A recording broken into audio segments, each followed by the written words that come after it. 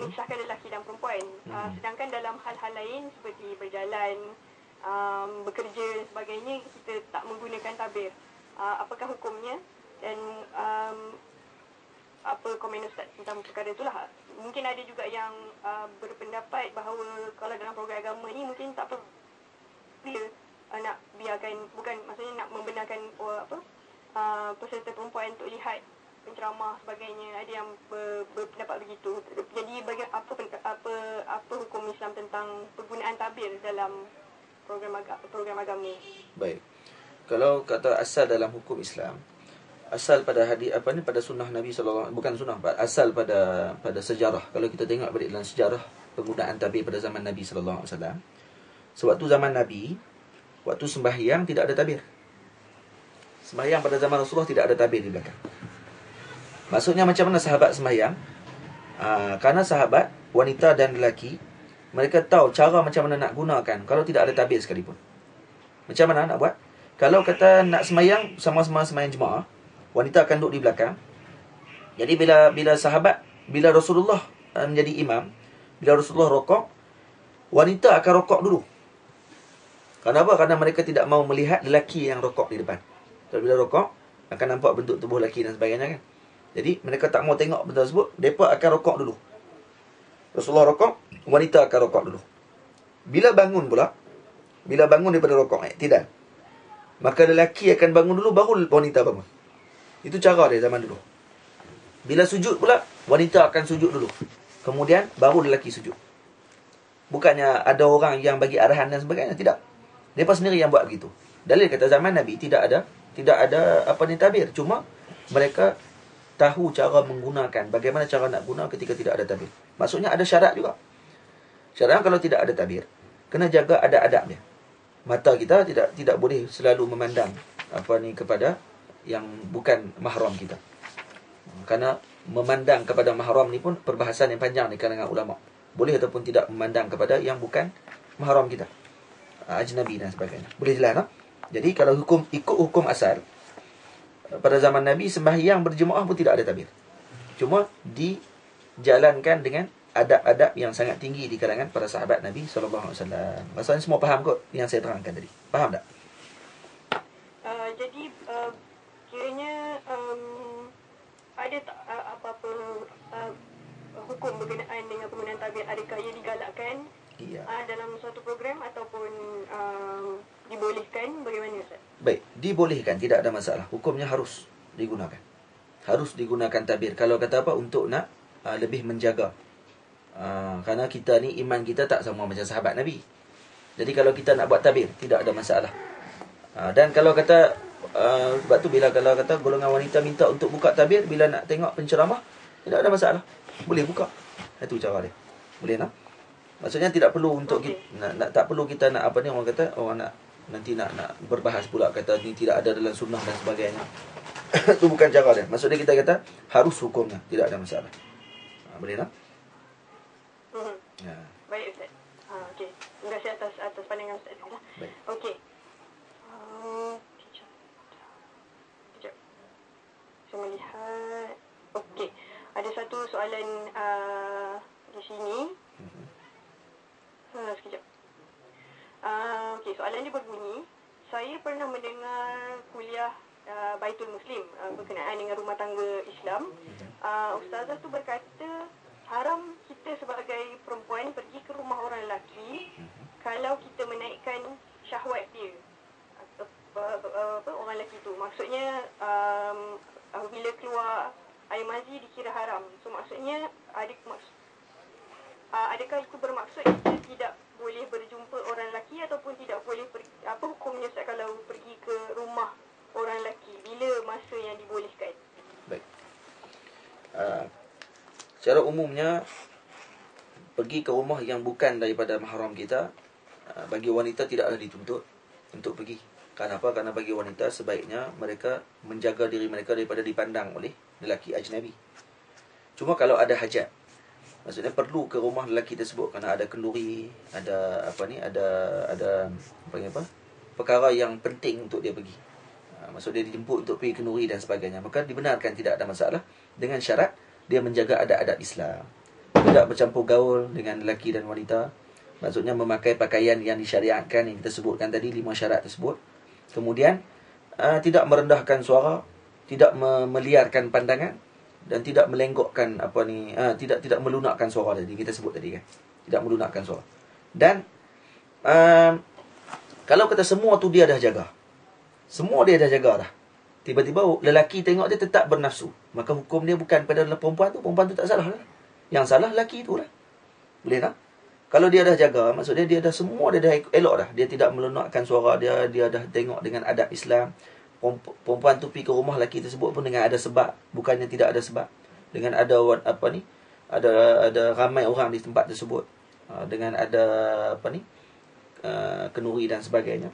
Maka waktu itu tidak ada masalah untuk dia pergi dan kalau lelaki tersebut tetap naik syahwat bila tengok dia maka ketika tersebut hukumnya jatuh kepada lelaki itu sahaja bukan pada perempuan tersebut ha, kadang-kadang ada perempuan dia pakai purdah dia tutup habis muka dia berjalan di di di apa ni di tengah orang ramai di di pekan dalam keadaan menutup aurat yang cukup lengkap tidak memakai wangian yang terlalu wangi Lepas tu apa ni dengan menutup muka ada orang lelaki yang bila pandang dia naik syahwat bila tengok orang macam tu. Jadi yang salah siapa? Bukan perempuan tu dah. Yang salah adalah lelaki tu. Boleh faham tak? Boleh faham? Okey. Ha. Uh, soalan seterusnya Ustaz. Ini mungkin banyak berlaku di, uh, di luar negara apabila apa uh, surau universiti tu kecil je dan mungkin pada pada satu masa tak ramai yang menggunakan. Jadi apa uh, uh, um, apabila pada masa tu ada seorang lelaki saja sedang solat dan uh, kita datang yang muslimatnya datang ke masuk ke surau tu uh, uh, tahu ada berdua je tadi ustaz kata, kata uh, apa pas apa uh, elakkan uh, apa apa berdua je dalam satu bilik dan yang tertutup kan yeah. bagaimana dalam situasi tersebut kalau macam tu pun sebaiknya elakkan kerana bimbang berlaku fitnah. Kerana kata tadi sebab saya tengok pada soalan kata apa ni sebab pen, uh, kawasan tu sempit dan tidak terlalu luas. Bimbang berlaku fitnah, baiknya elakkan. Dan perempuan lebih baik semayang di rumah. Kalau tidak ada waktu, maka dia boleh tunggu sampai lelaki tu habis sekejap. Kerana semayang taklah terlalu lama. Boleh tak? Ha, gitu. Hmm. Jelas tak? Okey. Untuk elakkan. Ha, elakkan daripada fitnah. Uh, hmm. Okey, uh, ada nak minta, minta sedikit penjelasan Ustaz tentang wangian tadi. Ustaz ada mengatakan agar dia tidak terlalu wangi, tapi ada hmm. juga Ustaz nyatakan tentang warna. Ya. Yeah. Ada ke? Um, ya, yeah, warna. Bagaimana warna wangian tu macam mana Ustaz? Macam mungkin tak nampak sebab kebanyakan wangian sekarang ni tak ada apa warna uh, uh, apa, almost transparent kan benda tu. Yeah, yeah. Apa yang dimaksudkan dengan warna wangian? Warna ni mungkin pada zaman Nabi sallallahu alaihi wasallam setiap apa ni wangian tersebut ada warna yang khusus bagi warna tadi. Sebab tu Nabi letakkan warna bagi lelaki kalau kata warna minyak wangi itu mesti kurang. Warna kurang, baunya lebih. Baunya kuat. Perempuan pula warnanya terang dan baunya kurang. Apa maksud di sini? Nak beritahu juga kepada kita bahawa perempuan ni kadang-kadang dia suka kepada warna-warni. Nah, dia suka kepada warna-warna ni. Laki pula dia tak suka sangat, dia tak apa nak tak apa nak ambil perhatian sangat berkenaan dengan warna-warna ni. Dia lebih kepada kepada bau tu. Perempuan pula dia dia kadang dia suka warna, cuba cuba tengok warna. Sebab tu Nabi sebutkan sesuai dengan keadaan mereka. Jadi kalau kata zaman lah tidak ada lagi warna, dah transparent dah. Orang tengok nampak macam dah jernih dah. Tidak ada masalah. Termasuk juga dengan perkara tersebut, syarat dia masih kekal lagi, iaitu tidak berbau terlalu kuat. Boleh faham tak? Boleh faham? Ha, itu maksudnya.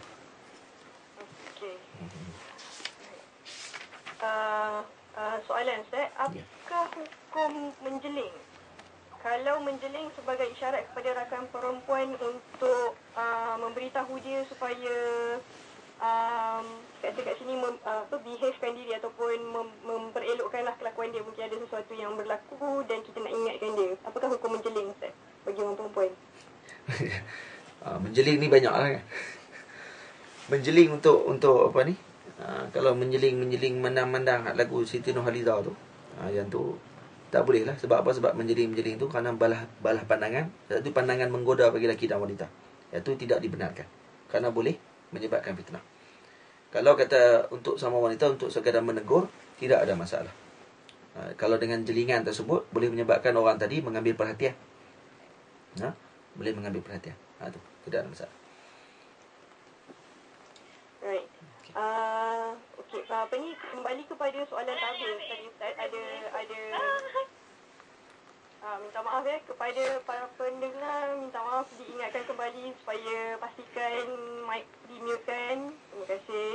Okey, kembali kepada soalan Ustaz. Minta maaf atas uh, apa ni uh, interruption tadi. Okey, soalan berkenaan dengan tabir tadi, um, ada dalam surah Al-Ahzab uh, ayat 53 dengan bagaimana um, apa ni uh, hukum yang diberi di uh, diturunkan kepada uh, isteri-isteri Rasulullah di mana para sahabat perlu kalau ingin meminta sesuatu daripada uh, isteri-isteri Rasulullah mereka perlu meminta di sebalik tabir. Uh, jadi uh, adakah uh, soalan dia masih relevankah tabir itu sekarang untuk balik kepada uh, apa ni persoalan tentang digunakan semasa program agama atau program rohani tadi? Kerana uh, untuk isteri-isteri Rasulullah uh, apa di di diwajibkan meng, apa menggunakan tabir uh, apa apa kira ada perantaraan ataupun pemisah antara mereka dengan uh, apa sahabat-sahabat lelaki kalau mereka nak bertanya. Jadi memandangkan jadi pendapatnya sekiranya isteri-isteri Rasulullah ni adalah yang sebaik-baik uh, muslimat pada ketika pada uh, sepanjang zaman dan antara contoh-contohnya jadi bukankah manusia pun elok guna tabir? Apa komen ustaz? Baik. Sebahagian ulama bincang masalah ayat tersebut. Berkenaan dengan apa ni isteri-isteri nabi di diarahkan oleh Allah Taala untuk menggunakan tabir. Sebahagian mengatakan itu hanya khusus untuk isteri-isteri nabi. Bagian kata gitu. Maksudnya kerana isteri nabi ni kedudukan dia agak berbeza dengan orang lain. Ha, dan dia mereka ni ada kedudukan istimewa sisi Allah Subhanahu Wa Taala dan kerana untuk menjaga hati Nabi sallallahu alaihi wasallam. Nak menjaga hati baginda sallallahu alaihi wasallam itu lebih utama. Tapi apa ni zaman sekarang bukan zaman sekarang zaman dahulu sekalipun wanita-wanita secara umumnya bila bercakap dengan golongan lelaki tidak menggunakan tabir. Kalau kata apa ni secara secara uh, penggunaan yang yang uh, penting contoh berjual beli dan sebagainya tidak menggunakan tabir. Dalil kata uh, ada tempat-tempat tertentu yang menggunakan tabir dan ada tempat-tempat tertentu yang tidak menggunakan tabir.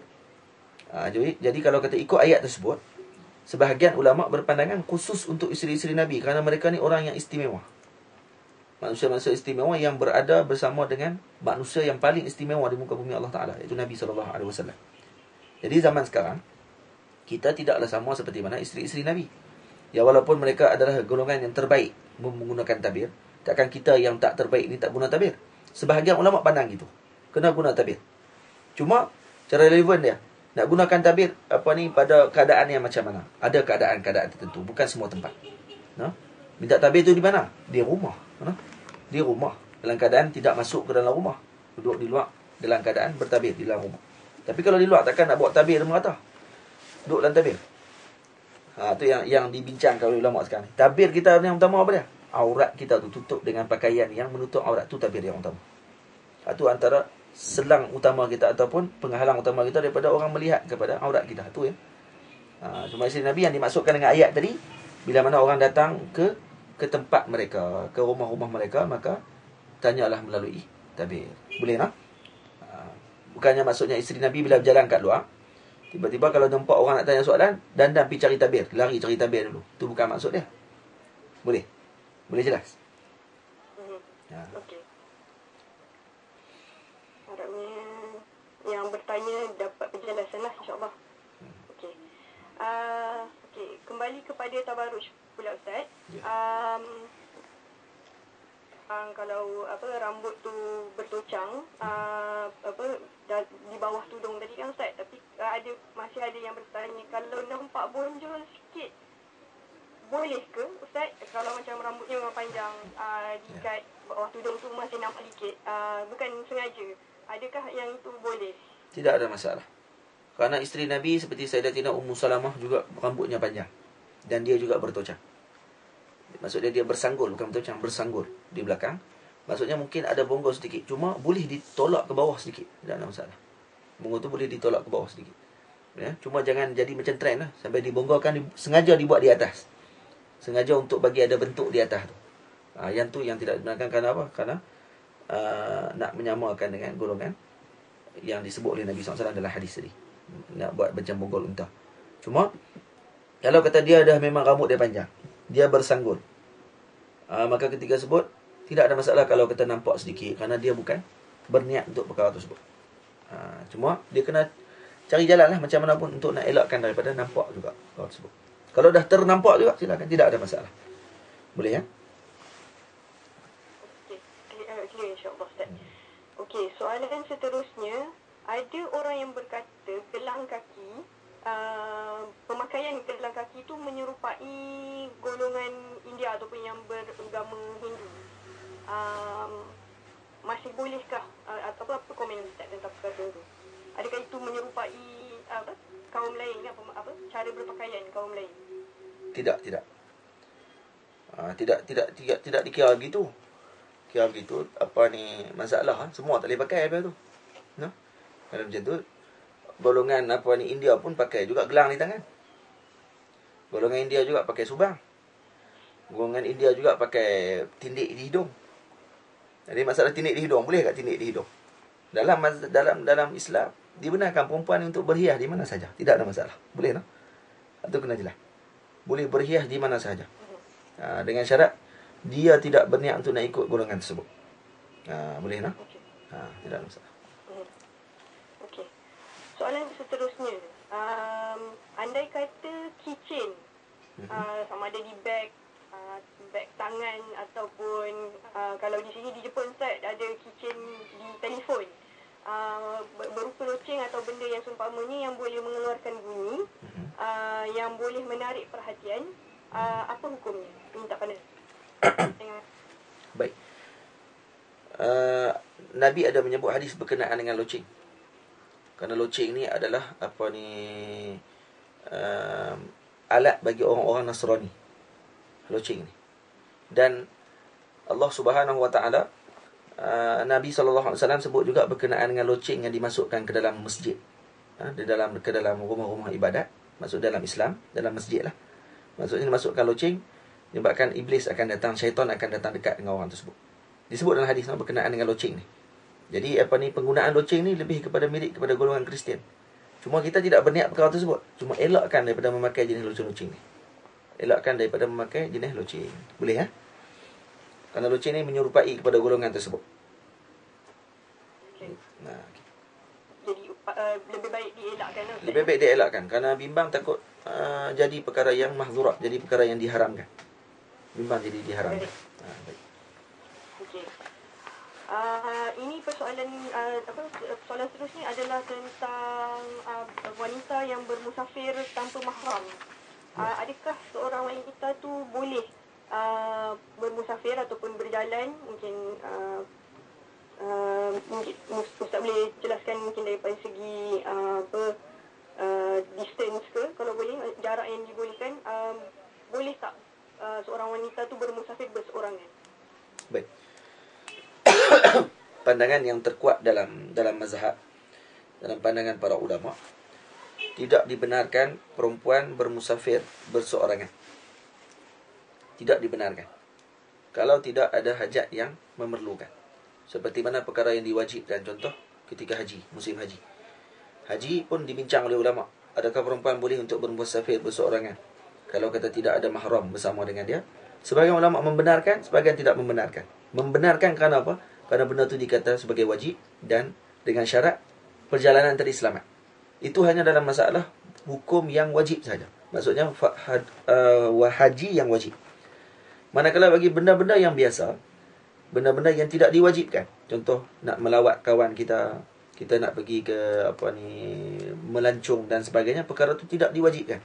Bila tidak diwajibkan kalau berseorangan Sebahagian pandangan ulama yang kuat mengatakan bahawa Hukumnya adalah dilarang bagi wanita Malah sebahagian ulama seperti Al-Imam Ibn Hazmin Al-Andalusi Mengatakan bahawa Kalau wanita ni kalau 5 km pun dah dikira perlu uh, perlu ada mahram Perlu ada apa ni orang yang menemani dia untuk keluar ni mahram dia Adik dia ke, abang dia ke, suami dia ke Untuk keluar Kalau pun dia nak keluar dalam 5 kilometer Ha, tapi dalam keadaan sekarang, kondisi sekarang kalau kata pelajar-pelajar yang duduk di luar negara.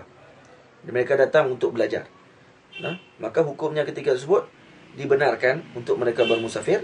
Tapi dengan syarat kalau duduk di sana pula, maka mereka perlu untuk berteman bila nak ke mana-mana. Tidak boleh. Elakkan sebaiknya. Elakkan daripada kita berseorangan ke tempat-tempat tertentu. Kerana kita masih lagi dikira dalam fatrah musafir ataupun kita dikira dalam tempoh bermusafir lagi ketika di perantauan. Maka ketika sebut perlu untuk kita ada teman ketika nak dalam perjalanan tersebut. Jelas tak? Cuma panjang panjang perbahasan ulama berkenaan dengan apa ni perempuan bermusafir ni. Memang ada hadis yang Nabi sebut akhir zaman nanti akan aman jalan. Ja, apa ni perjalanan ni akan aman.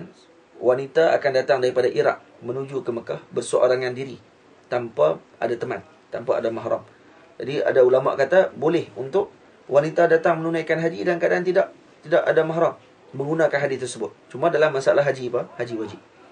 Tapi yang masalah-masalah lain ni, eh, macam yang saya sebutkan tadi, itu tidak sebaiknya elakkan dan perlukan berteman. Elakkan daripada berseorang. Boleh ya?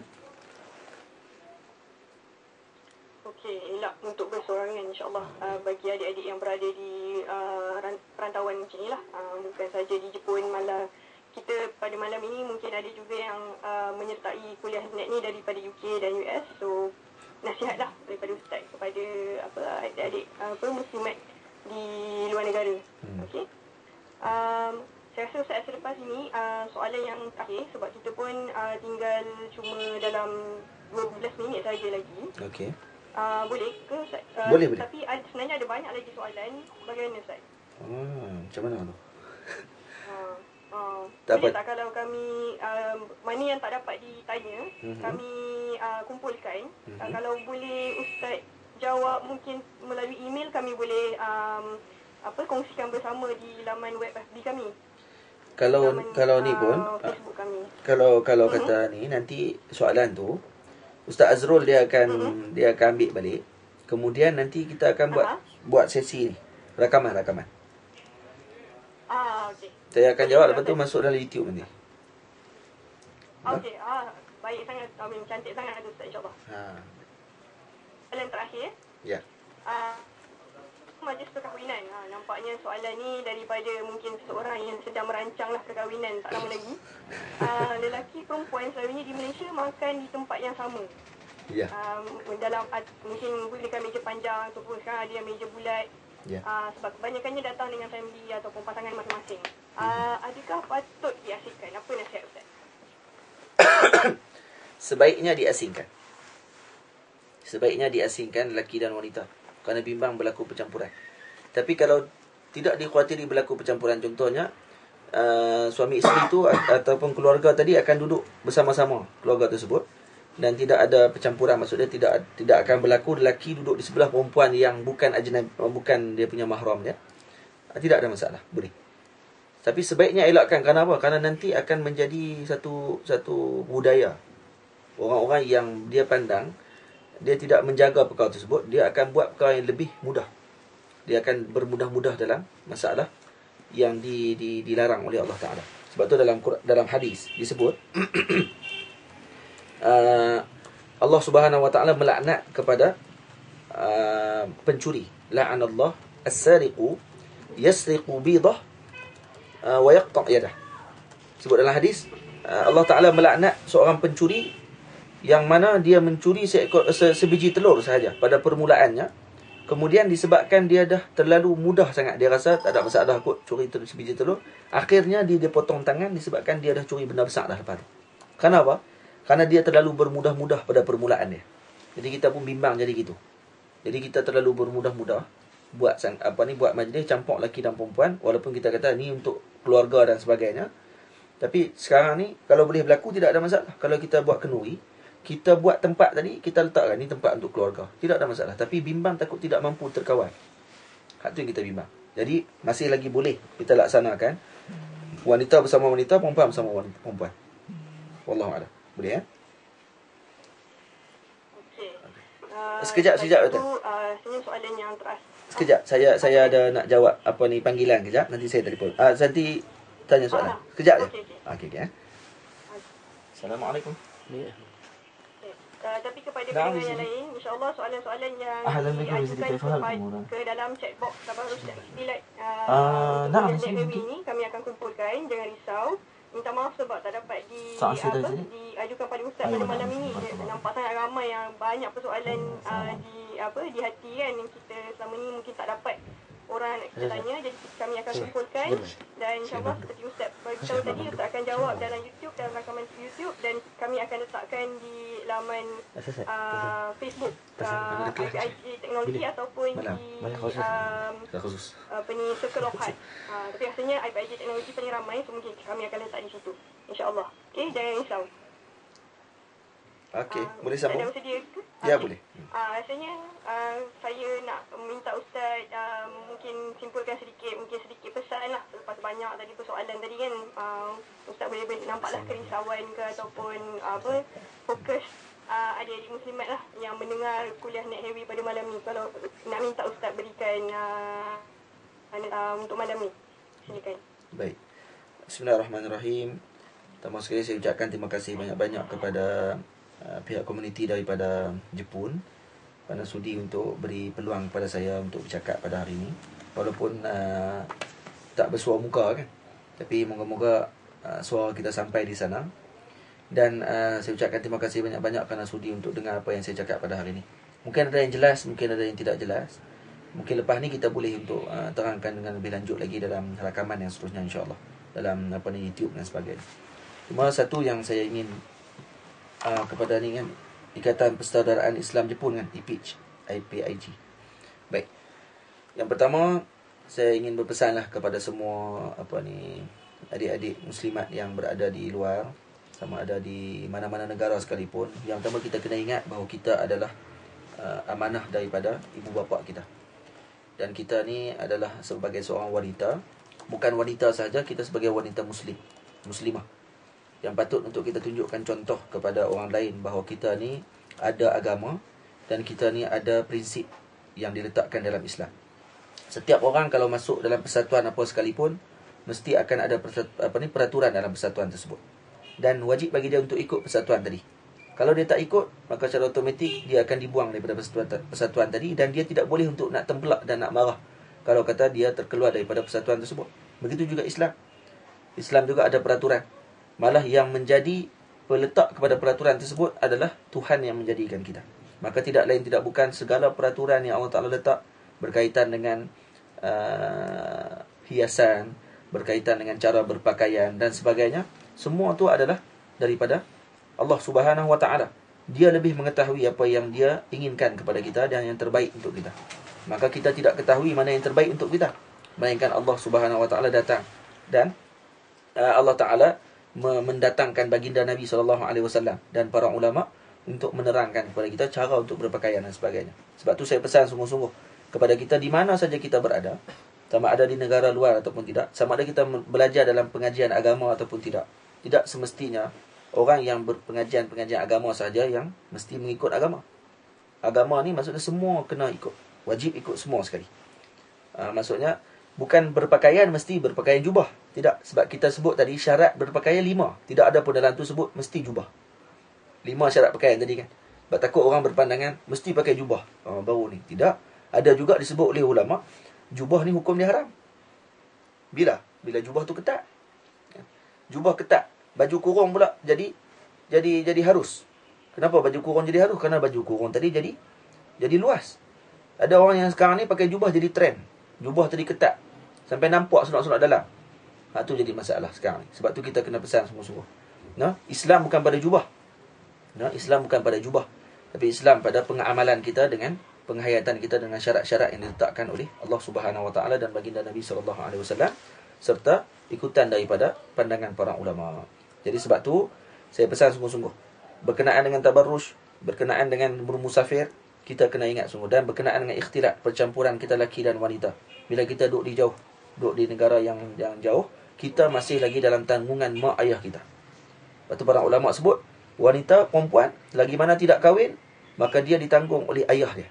Kita nak ada ayah kita dapat dosa sepanjang kita melakukan perbuatan yang tidak baik kalau kita duduk di luar sana. Kita duduk di negara luar, kita tidak menutup aurat, kita bercampur gaul lelaki dan wanita, dengan tidak mengikut syarat-syarat yang diletakkan dalam Islam, waktu tu kita telah tidak sedar bahawa dosa-dosa yang kita lakukan tadi sikit sebanyak masuk kepada ibu dan bapa kita. Kita nak tak gitu? Kita tak mau. Bila kita tak mau, kita sayang kat mak ayah kita, kita tak mau mak ayah kita masuk ke dalam neraka Allah disebabkan kesalahan kita. Maka kita kena jaga diri kita baik-baik. Dan kita kena ingat bahawa kalau kita buat, kita telah menyebabkan ada di kalangan ahli keluarga yang kita sayang akan terjerumus ke dalam api neraka dengan kesalahan kita. Yang tu disebut oleh para ulama. Nah, lagi tak kahwin, lagi tu ditanggung oleh ayah kita. Nah, lagi lagi lagi mana kita tak kahwin, lagi tu ditanggung dosa kita oleh ayah kita kalau kita buat dosa. Sebab tu saya pesan sungguh-sungguh kepada wanita-wanita, adik-adik uh, muslimat yang berada di luar sana, yang berada di mana-mana negara sekalipun, kita dalam proses pengajian perlu menjaga adab-adab pengajian. Karena kalau tidak, pengajian kita tidak akan berkat. Kamu mengajilah bidang apa sekalipun, pengajian kamu tadi mesti niatkan untuk Islam dan kerana Allah Taala. Kalau kamu jadi jurutera, jurutera yang mampu untuk bimbing orang kepada Islam dengan akhlak kamu. Kamu jadi doktor, doktor yang mampu untuk bimbing orang kepada Islam dengan akhlak kamu. Kamu jadi seorang accountant, accountant yang mampu untuk bimbing orang kepada Islam dengan akhlak dan juga peribadi yang kita tunjukkan. Tak semestinya seorang ustazah saja boleh tunjuk. Doktor, jurutera, accountant dan semua bidang sekalipun mereka boleh untuk tunjukkan Islam kerana Islam ni adalah milik semua dan bukan milik sebahagian orang sahaja. Jadi saya rasa setakat tu dulu. Moga kita dapat bertemu lagi lepas ni insya-Allah. Serah kembali kepada kepada apa ni? Saudari pengurus majlis. Jazakallah khairan.